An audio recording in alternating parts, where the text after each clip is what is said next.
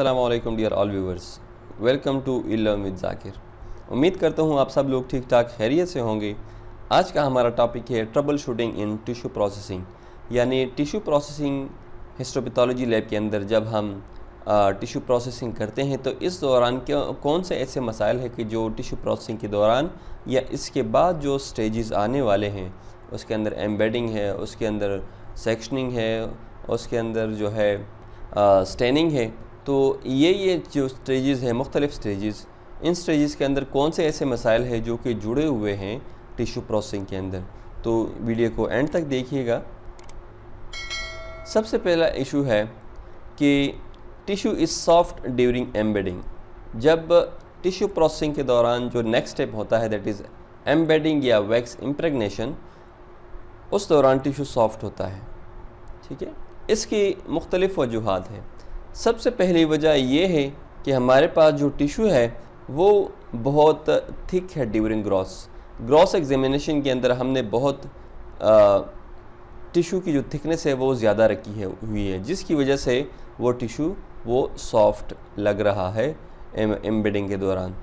दूसरा वजह क्या है कि जो सॉल्यूशंस, जो रिएजेंट्स हम टिश्यू प्रोसेसिंग के अंदर इस्तेमाल करते हैं, चाहे वो क्लियरिंग के अंदर है या चाहे वो डिहाइड्रेशन के अंदर है या चाहे वो इम्प्रेगनेशन के अंदर है तो इसके अंदर जो रीजेंट्स हैं, वो वाटर के साथ सेचूरेटेड है। स्पेशली अल्कोहल जो कि डिहाइड्रेशन पर्पज़ के लिए इस्तेमाल होता है तो वो वाटर के साथ सेचूरेटेड है। इसकी वजह से वो प्रॉपर डिहाइड्रेट नहीं हो रहा। तीसरा वजह क्या है कि जो पैराफिन वैक्स है, जिसको हम एम्बेडिंग के लिए यूज़ करते हैं तो वो वैक्स क्लियरिंग एजेंट के साथ सेचूरेट हो चुका है। उसके अंदर क्लियरिंग एजेंट की क्वांटिटी ज़्यादा हो चुकी है, जिसकी वजह से पैराफिन जो वैक्स है, उसकी कंसनट्रेशन उसके अंदर कमी आई है और वो प्रॉपर अपना फंक्शनिंग कर, नहीं कर रहा। तो ये तीन वजूहत हैं। इन तीन वजूहत की वजह से हमारा टिशू जो है, वो एम्बेडिंग का जो प्रोसेस है आफ्टर टिशू प्रोसेसिंग उसके अंदर वो सॉफ्ट लग रहा है।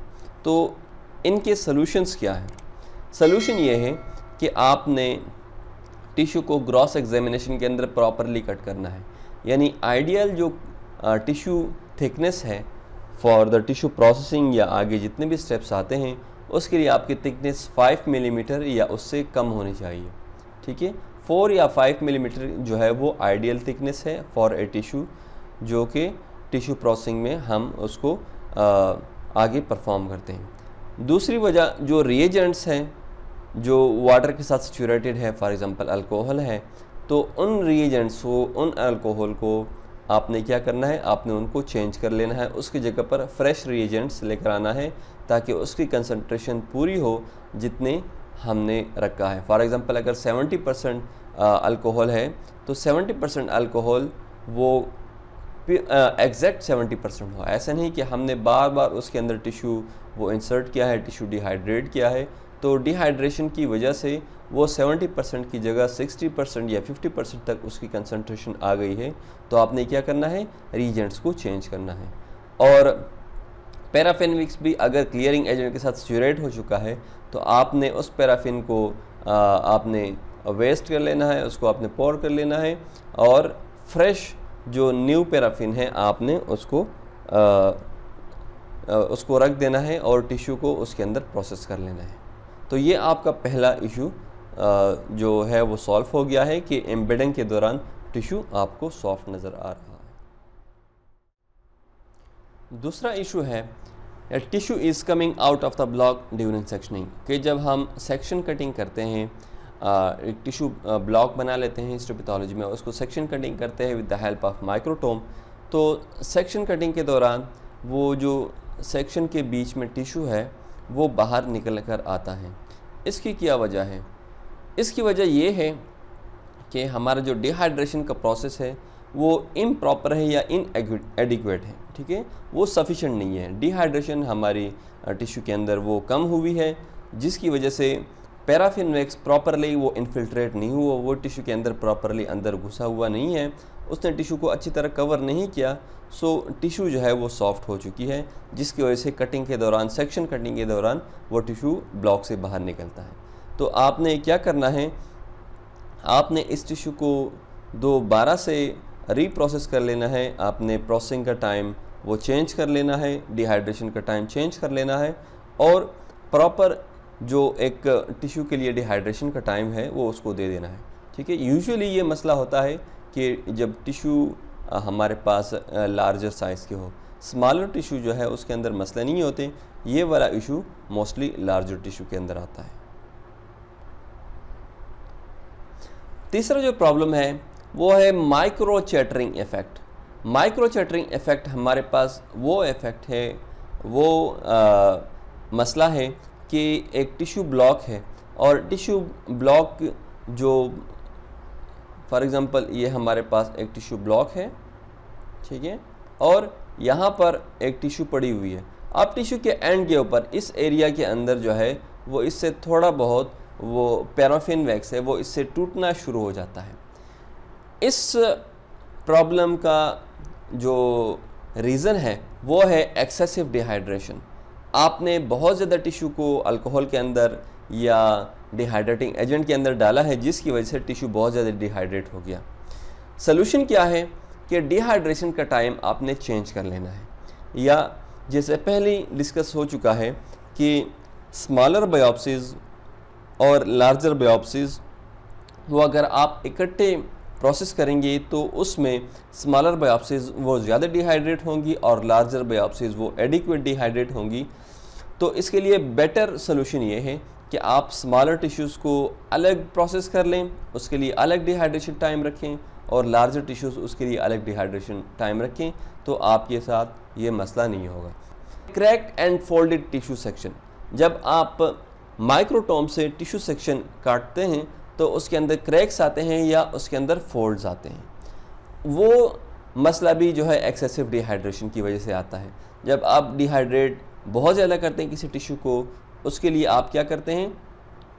आ, उसकी वजह से आपका टिश्यू वो उसके अंदर क्रैक्स आ सकते हैं। जब आप उसको सेक्शन कटिंग करते हैं या उसके अंदर वो फोल्ड हो सकता है वो रोल हो सकता है जिसकी वजह से ये मसला आएगा। अब इस मसले का सलूशन क्या है? इस मसले का सलूशन ये है कि बिफ़ोर सेक्शन कटिंग जब आप माइक्रोटोम की में टिश्यू को ब्लॉक रखते हैं तो उससे पहले आप एक घास पीस ले लें। उसको थोड़ा सा वाटर के साथ सोख कर लें, गीला कर लें और उसको, उस गीले घास पीस को आपने टिश्यू सेक्शन के ऊपर रखना है ताकि थोड़ा सा वो हाइड्रेट हो जाए और उसके बाद सेक्शन कटिंग करेंगे तो आपके साथ ये वाला मसला नहीं आएगा। नेक्स्ट प्रॉब्लम है that is irregular haematoxylin and eosin staining आप जब हेमाटोक्सिलिन और ईओसिन स्टेनिंग करते हैं, किसी हिस्टोपैथोलॉजिकल बायोप्सी टिश्यू की तो आपके पास जो स्टेनिंग है वो इरेगुलर आएगा। इसमें भी मसला डिहाइड्रेशन का है कि आपका डिहाइड्रेशन प्रॉपर तरह से नहीं हुआ। डिहाइड्रेशन को आपने कम टाइम दिया है या आपके डिहाइड्रेटिंग जो एजेंट्स हैं, वो वाटर के साथ सेचूरेट हो चुके हैं तो जिसकी वजह से आपका डिहाइड्रेशन प्रोसेस सही नहीं हुआ। इसका सोल्यूशन क्या है? कि आपने या तो डिहाइड्रेशन को प्रॉपर टाइम देना है या अगर आपके सोल्यूशन वो वाटर के साथ सेचूरेट हो चुके हैं तो आपने सोल्यूशन को चेंज करके फ्रेश सोल्यूशन लेके आना है ताकि आपको जो सोल्यूशन की कंसनट्रेशन है वो एग्जैक्ट हो और डिहाइड्रेशन प्रोसेस वो ठीक हो जाए। और जो लास्ट प्रॉब्लम है that is brittle tissue after processing जब आपने प्रोसेसिंग कर ली, उसके बाद आपका टिश्यू जो है, वो बहुत नाजुक हो गया है और थोड़ा सा भी वो फ्लेक्सिबिलिटी उसके अंदर नहीं है ब्रिटलनेस है सख्ती है उसके अंदर तो इसकी वजह भी आ, इसका ये वजह है कि आपके टिश्यू के अंदर वो ब्लड की क्वांटिटी ज़्यादा है ठीक है? तो जब ब्लड की क्वांटिटी ज़्यादा होगी तब आपके साथ ये मसला आ सकता है इसका सोल्यूशन क्या है कि आपने घास पीस लेना है और थोड़ा सा जो वार्म वाटर है उसको क्या कर लेना है? उस ब्लॉक को थोड़ा सा नीम गर्म पानी से गीला हुआ एक कपड़ा या घास पीस वो उसके ऊपर रख देना है। उसके बाद आपने उसकी सेक्शनिंग करनी है तो आपका टिश्यू वो टूटेगा नहीं, उसके अंदर ब्रिटलनेस या उसके अंदर सख्ती नहीं आएगी। ये डिफरेंट टाइप ऑफ़ प्रॉब्लम्स थे जो आज हमने डिस्कस किए और ये सारे प्रॉब्लम्स रिलेटेड थे। वीडियो देखने के लिए शुक्रिया। अस्सलाम वालेकुम अल्लाह